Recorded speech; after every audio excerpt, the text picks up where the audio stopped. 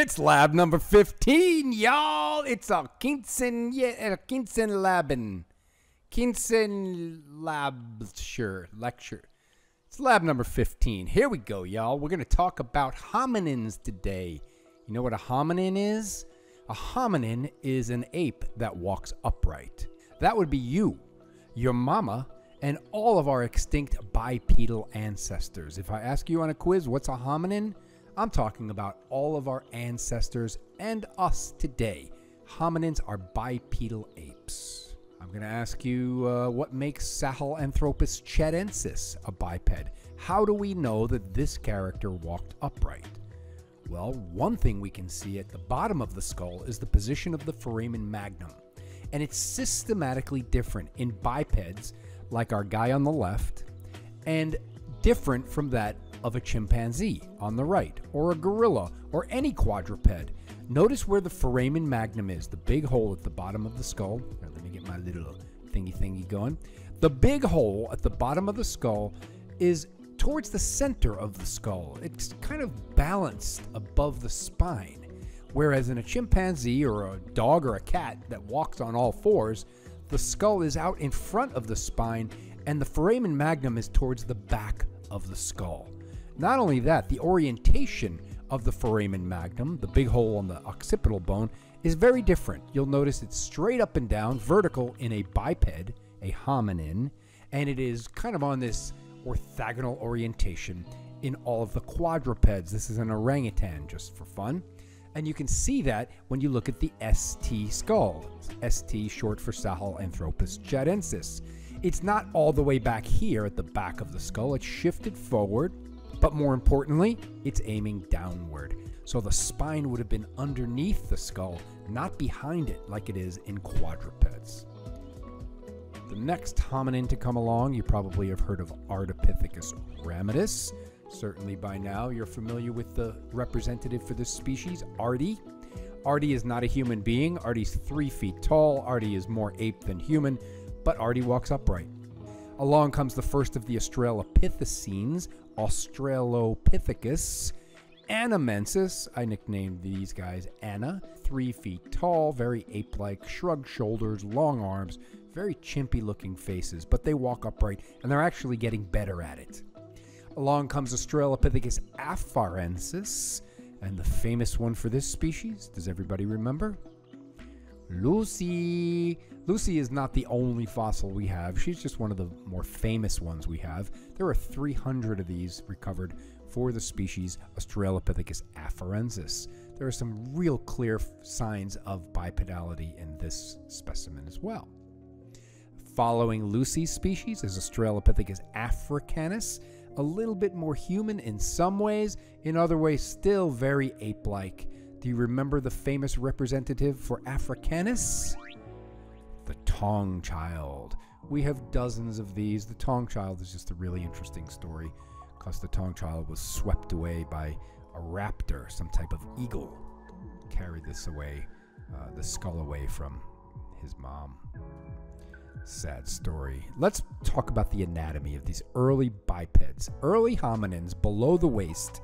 By the time we get to the Taung child, by the time we get to Lucy, they're walking upright for a couple of million years, and their hips, their knees, their legs, their feet are basically ours. Granted, they only come up to your belly button, they're not people, but below the waist, their bones have evolved for bipedality and they look a lot like yours. How do we know that Lucy's a biped? This is Lucy on the right, that's you on the left. Lucy's got your pelvis. It's wide, it's kind of like a salad bowl. It's not flat like the chimpanzee you see on the left. And the chimpanzee pelvis, the gorilla pelvis, all the other apes, their pelvic bones are very narrow and tall. When you look at a human, you look at Lucy's pelvis, it's much, much wider than that of a chimpanzee. And it's not flat like the chimpanzee pelvis. Lucy has a curved pelvis I like to say it's like a salad bowl because when you stand upright, gravity pulls all of your organs downward.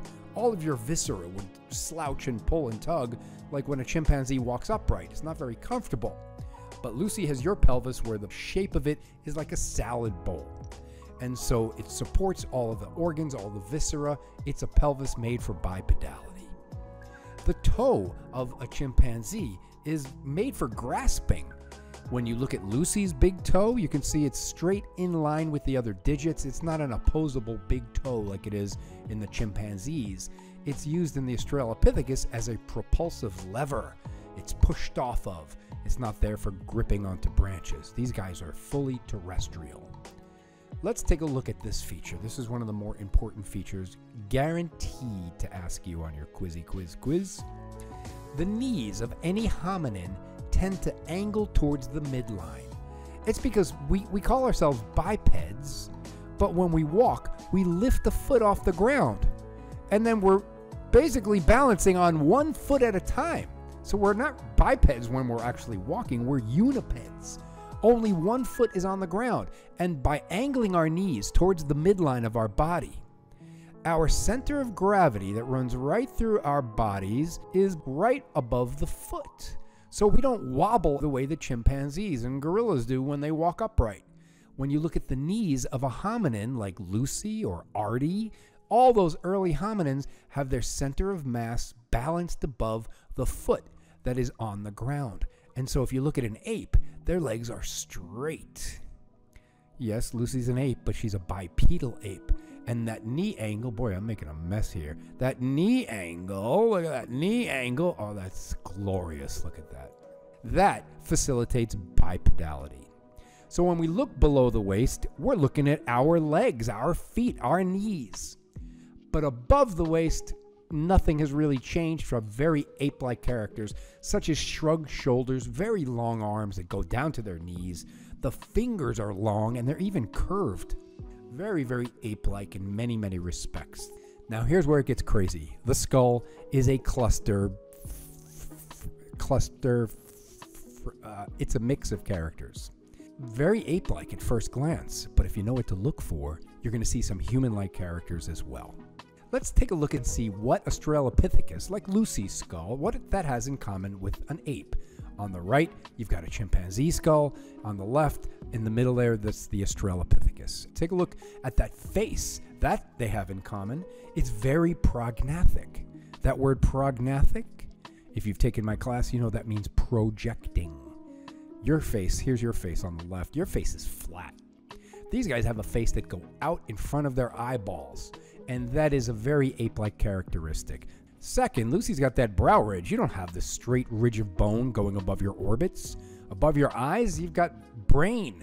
These guys above their eyes have air space. There's no brain above their eye sockets. Last thing, obviously, the brain size is tiny. Our early ancestors were not very clever, not in terms of brain size at least, anyway.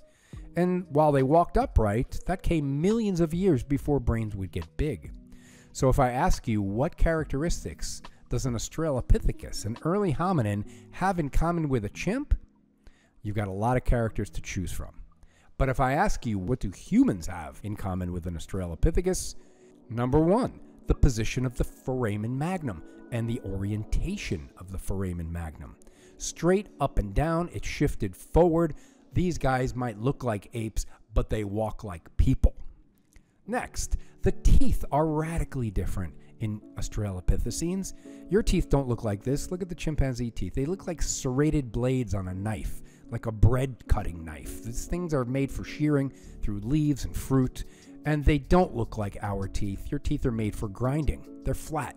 And so are the teeth of an Australopithecus.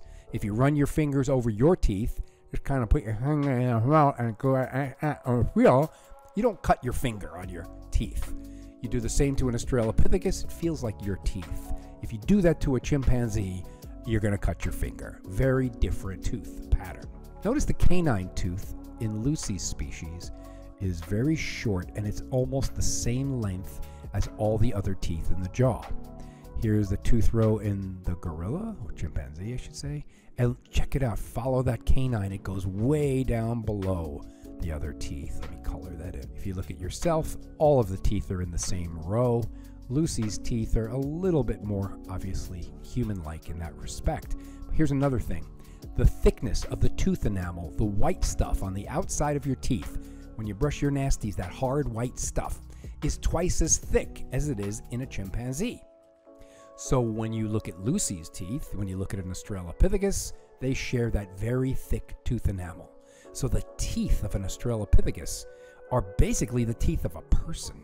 The last thing, if you've taken my class, you know I talk a lot about the position of the lunate sulcus.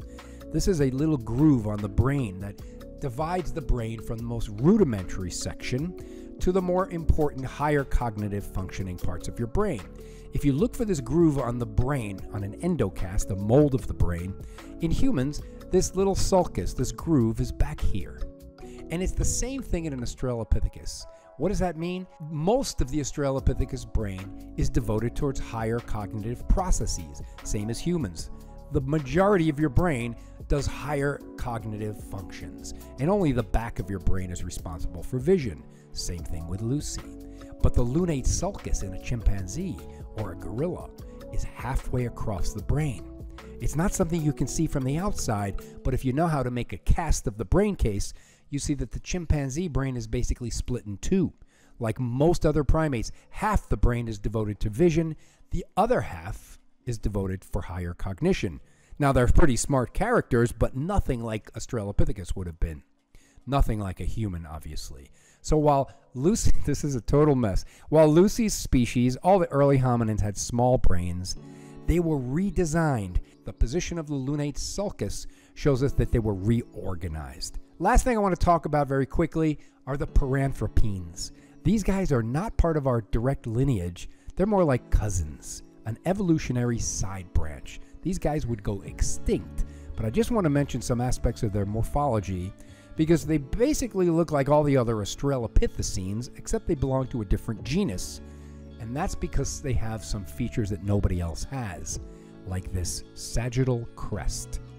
You know what the word sagittal means because we learned that the sagittal plane runs right down the middle of your body. And you will notice, how do you get rid of this thing? Yeah, yeah. Erase, okay, erase. Uh, there we go. The sagittal crest is the anchor site for very powerful muscles of chewing. And these guys had bigger teeth, bigger jaws, and they required massive muscles that reached all the way up to the top of the skull, dug in for a tight grip, and this is very distinctive. These are derived in all of the early Paranthropus. Paranthropus has a sagittal crest. There it is on top of the skull very powerful muscles swept up, and then they went right down through the zygomatic arches. The zygomatic arches, as you remember, are the cheekbones, and in humans they're very small, but in a paranthropus they're ginormous. Here's the top of the skull looking down. This is just a very, very powerful set of muscles that would have passed through them and very distinctive. You'll always know the difference between a paranthropus and any other hominin by virtue of their sagittal crest and the giant zygomatic arches. Okay, what do I have in store for you guys? Some fun activities. You've got your quiz, as usual. You've also got a written assignment, and all of the answers to the written assignment were discussed in this little video today. So make sure you tighten up your game before you attempt either your quiz or your written assignment, and good luck to you. Bye. Bye bye. Bye.